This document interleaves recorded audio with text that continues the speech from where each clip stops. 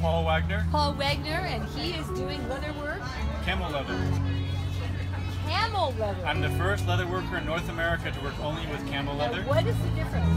So primarily, camel leather is three times stronger than cowhide. That's Yeah. the main difference. Okay. But one thing unique about this is I work with a tannery that ethically sources it, so it's not raised for the leather.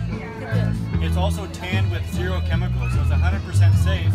But also environmentally, they can then recycle the water and compost the waste. This is beautiful. So it's really special. These are beautiful. I hand stitch every piece, so no sewing machine touches it. Every stitch is by hand.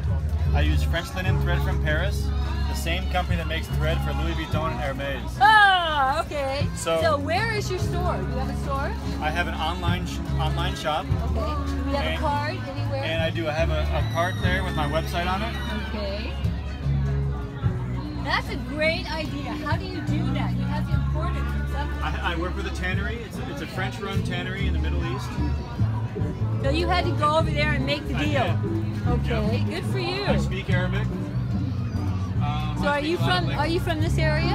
I live in Monterey. Monterey? Okay, Yeah. cool. Are you guys local too, or, or where are you? Where are you living? I gave you a thing my television show is here Okay. in Monterey. Okay. Very Uh, cool. broadcast on, uh, AMP media okay. on Thursdays. Cool. So you have to take a look at I it. I will. I will. Thank you so gorgeous. much. Thank you. Yes. How about this one, Mary Jo? Yeah. That's the actual camel hair on the side. No dyes applied. You can feel the hair.